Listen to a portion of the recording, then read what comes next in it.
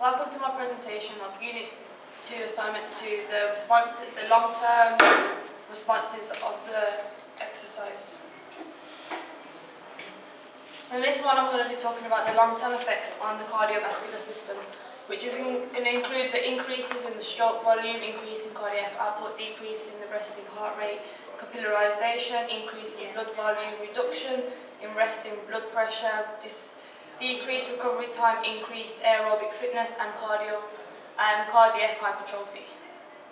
First I'm going to be talking about the cardiac hypertrophy. Cardiac hypertrophy is an abdominal enlargement and a thickening of the heart muscle. This is where it, this happens over a long period, um, long period of exercise as the walls of the ventricles were enlarged which will enable there to have more powerful contractions I'm going to talk about now the increase in the stroke volume. The increase in stroke volume is where is the amount of um, blood pumped from one ventricle from the heart in, in one minute. Having more, having an, an increase in stroke volume would have would would benefit an athlete as there's more blood pumped out per minute, and having a lower heart rate means that there's that your ventricle will take longer to fill up, which that more blood will be injected from the body.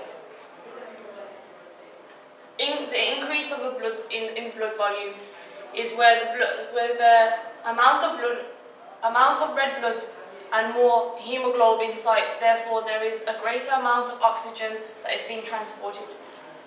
Also, they, they, this will allow the, them to exercise for a longer period of time and help them to get rid of lactic acid quicker.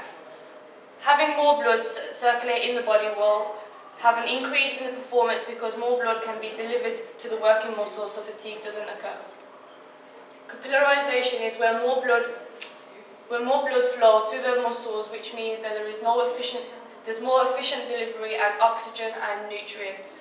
This will help the reduction in resting heart uh, blood pressure. Decrease in the resting heart rate. As, a long, as, you, as you exercise for a long period of time, this will there would, this would need more for cardiovascular system as the heart will need to get stronger to meet the demands. So the resting heart rate doesn't have to work as hard to supply body, uh, supply blood around the body.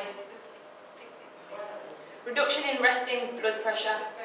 After exercise a long, uh, for a long time, you, your blood pressure should come back to normal quicker because your body will get more efficient at doing, at doing so. It will also be lower at, rest as, at rest as your body can cope more with the amount of blood pressure having a, lo a lower resting blood pressure which puts less pressure onto the body. Increase in aerobic fitness.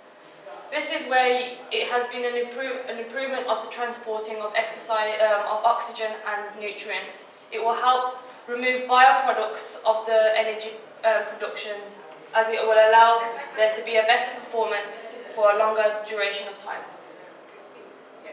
Long-term effects on the musculoskeletal system. They will have hypertrophy, increase in tendon strength, increase in myoglobin stores, increase in number of mitochondria, increase in storage of glycogen and fats, increase in muscle strength, and increase in tolerance to lactic acid. Muscle hypertrophy is where the muscle fibers become larger and they increase in size and in mass.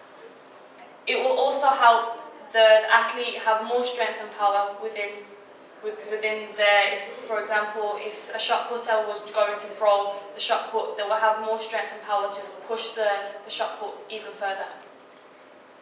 Increase in tendon strength. Increase in tendon strength is where the, the tendons is where the tendons um, will increase the strong, the, there will be stronger joints and the more powerful muscle, muscular contractions. This is where the, the, car, the cartilage would increase as well as the ligaments and tendons will increase in flexibility and strength. Increase in myoglobin stores. This will help people that do aerobic training they increase in myoglobin. There will be more myoglobin myoglobin in more some more oxygen transport. Myoglobin is a, is a substance within the muscles which carries oxygen to the mitochondria. Increase in number of mitochondria. Mitochondria is, is where energy is produced. Mitochondria is, a basic, is the basis of the aerobic output. The muscles can produce more energy at any time. This will increase the fitness and your endurance. Increase in muscle strength. Muscle strength can be can be done by overloading. This is, is, done by increasing the weight resistance. Muscle strength will increase when you when they are used more. Increase of uh, glycogen and fats. Fats are the main source of energy. In a long period of time, in a long period of exercise, this will they will use the fats as fuel, which would increase. Athletes can use fats as their main source of energy. Long-term effects on the respiratory system. Increase in vital capacity, increase in minute, in minute um, ventilation, increased strength and respiratory muscles, um, increase in oxygen diffusion rate. An increase in vital capacity is where the amount of oxygen, amount of air that is exhaled and inhaled. As vital capacity is increased, the faster it will remove the waste products. When the lungs increase in size, the vital or the increase in size, the vital capacity in their vital capacities. This is this would benefit an, an, athlete because there will be more nutrients and oxygen supplied to the working muscles, so fatigue wouldn't occur. Increase in, in minute ventilation. This is where the amount of, of air inhaled and exhaled in one minute. This will show the efficiency of diffusion there would be a, a, quicker gaseous exchange. This would benefit the athlete as more oxygen and nutrients that can be breathed in in a, minute. An increase in strength in respiratory system. The, intercostal muscles and the diaphragm will strengthen and as, as a long period of time the, the diaphragm will be able to get more air into the body as the oxygen will, go to working muscles so fatigue doesn't occur. Intercostal muscles can have the, aortic uh, cavity expanded as well.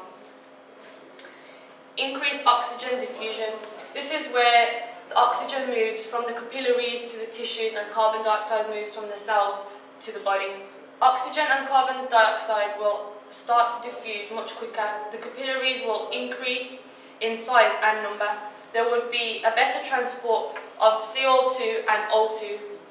There would be an increase in oxygen diffusion rates going through the wider capillaries. This will help the athlete to transport oxygen, which would allow them to perform a good, uh, a, a, good uh, intensity. The long-term effects of the energy system.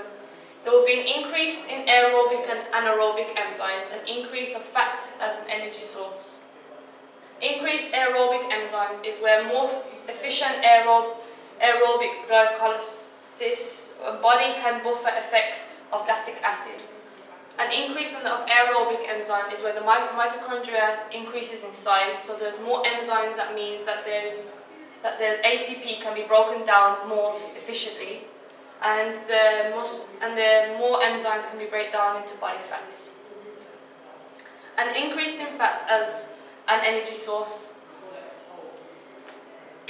Training means that the fats are stored can be accessed more, more frequently, so more, more the fats, so more fats are stored in the muscles. When glycogen levels deplete, then the fats are used up for energy. It will benefit an endurance athlete as they will be able to use the fats to complete the activity with more energy in their body. This is my bibliography. Thanks for listening.